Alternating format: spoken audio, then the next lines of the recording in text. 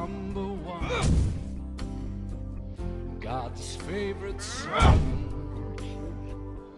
His flowing Isaac! rose reach down from heaven.